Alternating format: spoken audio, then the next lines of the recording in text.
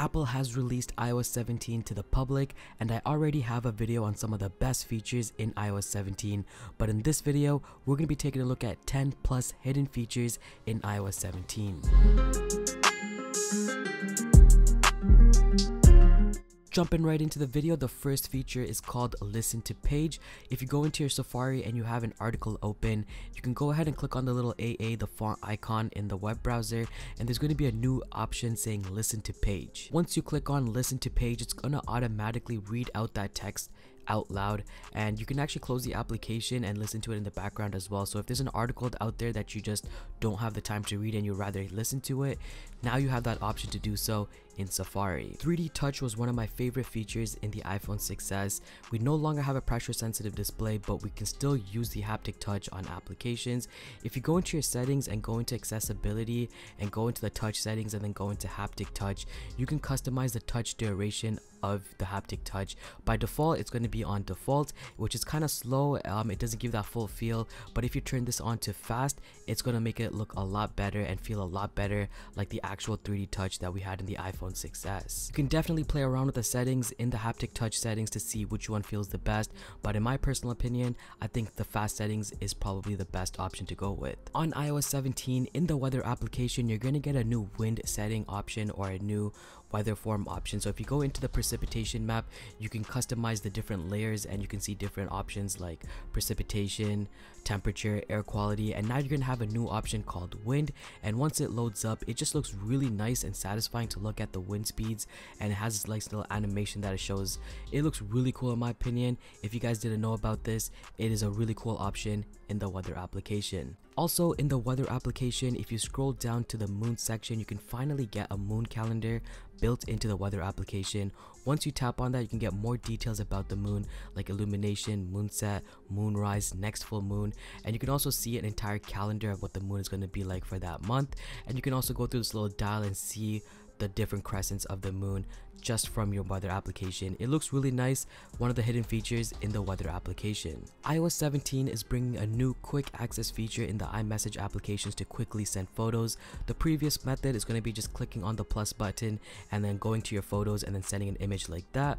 But you can also just tap and hold onto the plus icon and it's going to quickly give you the option to see your recent gallery and send pictures right away. So you now have a quicker option of accessing your photos right within the messages application in a single tap and hold. I'd like to take a moment to thank the sponsor of this video, iToolab. Apple just announced the latest iPhone and if you're looking for a way to transfer your WhatsApp, iToolab has got you covered with its all new WhatsApp transfer tool, WatsGo. It's the best all-in-one transfer tool for your WhatsApp data. With WatsGo, you can transfer your WhatsApp data easily from Android to iPhone, Android to Android, iPhone to Android, as well as iPhone to iPhone. Your contacts, messages, call history, images, videos, stickers, and more are easily transferred to your next phone. There's no need to factory reset your iPhone. WatsGo is capable of transferring large files without long waits or getting stuck. WatsGo is available on both PC and Mac, and all you have to do is connect your two phones and click transfer and you're good to go. It's as easy as that. The best part is iToolab has a big sale right now and you can get up to 40% off. Check out the links in the description below for links and coupon codes.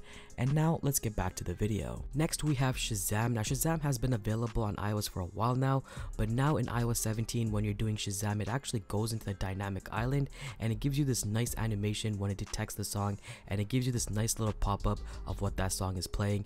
It just makes Shazam look a little bit better and a lot cleaner in my opinion and the animation is a nice added touch. This next feature is probably one of the best new features in the Photos application. If you go into the Photos application and you have a picture of your car dash and you're wondering what those lights mean, now in visual lookup, you can actually find out those auto symbols right within the Photos application.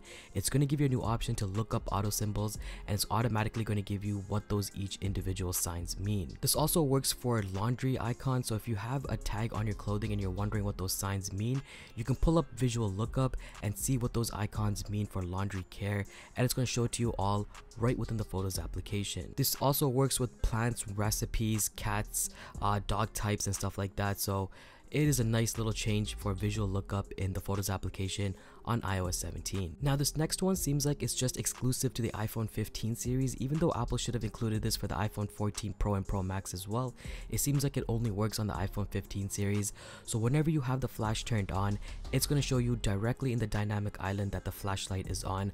So whenever you feel like the flashlight is on or you don't know the flashlight is on you can tell by looking at the dynamic island that the flashlight is indeed on and you can go ahead and turn it off from the dynamic island as well. iOS 17 is also bringing some new ringtone updates to the ringtone so you can get new ringtone options in iOS 17.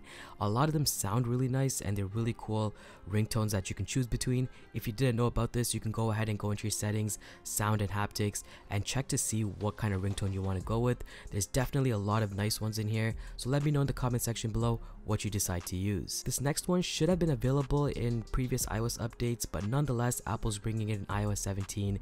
If you go into the clock application and you go into timers, you can finally set up multiple timers at once instead of having to just do one timer at a time. It works really well, it looks really clean, it still works with dynamic island, and if you're looking for multiple timer options, you finally have that in iOS 17. And finally, for the people that use the magnifier in the notes application or anywhere in the iOS system, you now have a new magnifier that's a little bit bigger and has this little oval shape to it instead of just being a circle. It looks really clean and if you're into the magnifier, that's something that's been updated in iOS 17. And that's pretty much it for this video. If you guys did like this video and you guys want to see more videos like this, make sure to give this video a big thumbs up, subscribe down below, and I'll see you guys in the next one. Peace.